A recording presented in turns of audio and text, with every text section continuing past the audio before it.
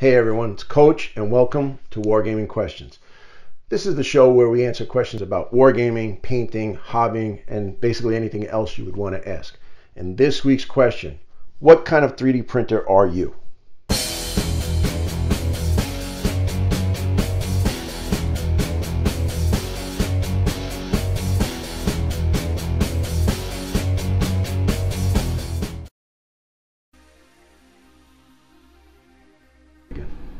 So before we get into this week's question, if this is your first time here, why don't you consider subscribing? We also have a Discord server, link is below, and if you want to support the channel even more, why don't you consider joining our Patreon? So this week's question is, what kind of a 3D printer are you? But what I mean by that is this. A few, about two years ago, we got a 3D printer. It's been great, okay? I uh, got files from Kickstarters, I got from Thingiverse, I just went through the whole thing. And as things went on, I noticed that there were trends, you know, talking to guys that are doing 3D printing. So here's my question Are you a 3D printer that prints constantly just for the sake of printing? Like if you don't print, it's a mortal sin? Or do you print things that you need for games or what you'd like to paint or whatever? So the way I look at it is this.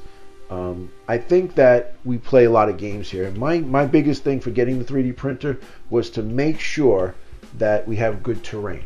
So as you've seen a few videos I've done, uh, we've been doing a test of honor table, a feudal Japan table, and my thing was I wanted to put as much cool stuff on the table as I could. So I ended up backing a Kickstarter, getting things off of Thingiverse, and I purchased a few other things here and there to make the table look good. Now, will I buy and print up a STL file and print up a Japanese castle for the sake of just having a Japanese castle?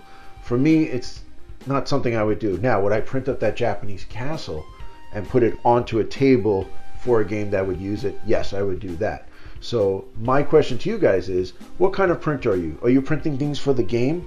Or are you just printing things to print things? Now, that doesn't mean that I want to print a dragon because I want to paint a dragon just for a centerpiece or for the hobby. That's uh, something I would do. But I know guys that just print things constantly, just keep printing, printing, printing, printing. Their machine does not stop 24 7. So, what kind of a printer are you? Are you doing things for specific gaming goals or hobby projects, or are you just a constant printer? Let me know in the comments below. All right, so that's it for this week's question. If you have a wargaming question that you would like answered, why don't you leave a comment below and we'll get to it in another video. Thanks for watching, and we'll see you next time.